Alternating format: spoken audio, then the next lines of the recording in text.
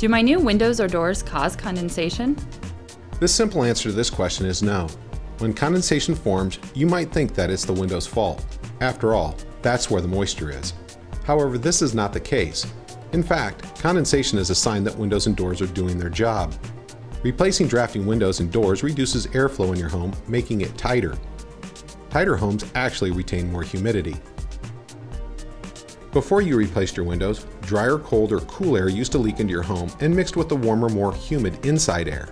This lowered the overall relative humidity of the air in your home. Your new draft-free windows have actually caused the humidity level to rise in your home. How does condensation form?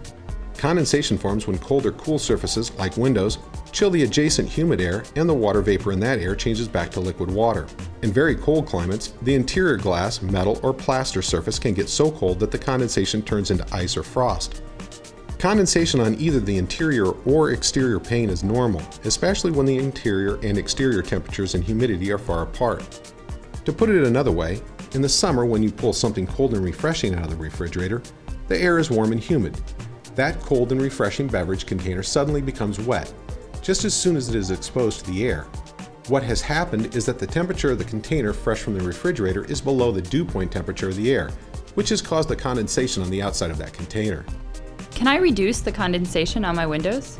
Yes. In order to reduce condensation, humidity levels in the home must be controlled and air movement must be generated. What steps can I take to reduce the humidity in my home? Use exhaust fans in your kitchen, laundry, and bathrooms. Vent gas burners, clothes dryers, and other appliances to the outdoors. Shut off furnace humidifiers and other humidifying devices in your home.